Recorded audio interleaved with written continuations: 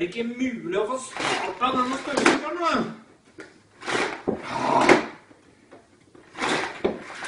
Åh.